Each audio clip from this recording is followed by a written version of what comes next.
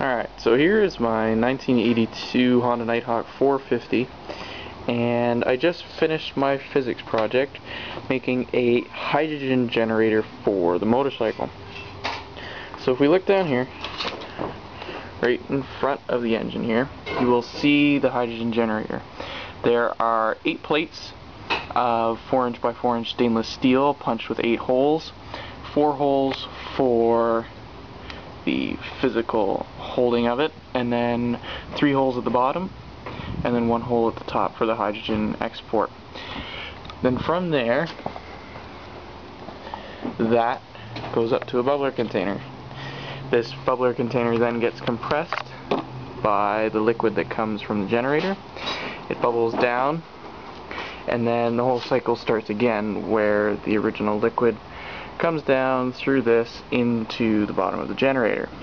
So, we'll flick it on here just to give you a quick show. Give it a few seconds and then it'll start to kick in. And there we go. I've measured it for about 1.5 to 2 liters per minute of hydrogen generation. So it works pretty well.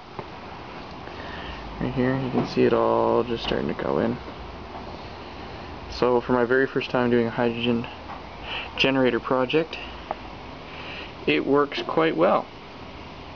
So from the bubbler container, the pressurized bubbler container, that goes through a tube, through a backflash arrestor, through a one-way valve, underneath the tank, down underneath the seat to a air intake. For electrical, I have a simple switch attached to my brake fluid here, on and off switch, just like that. And then in between the hydrogen generator and the switch, I have a fuse, 20 amp fuse, and that protects me from shorting myself and blowing myself up. So anyway, that is my hydrogen generator.